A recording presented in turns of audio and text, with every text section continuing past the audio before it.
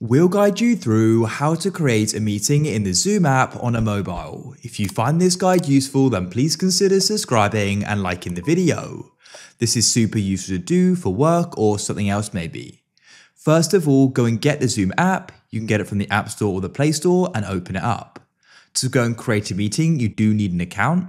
Go and click on sign up if you don't already have one, or you can click on sign in and you need to go and sign into your account, which I can go and do now. Once you've signed up or logged in, then you can go to the bottom left and click on meetings. Now you can go to the top and you can click on the new meeting button. Choose if you want the video to be on and if you want to use your personal meeting ID, and you can then go and click on start a meeting like so.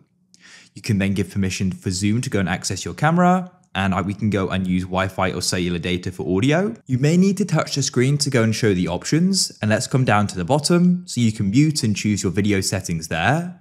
But to go and get people to join, click on participants and go to the bottom left and click on invite.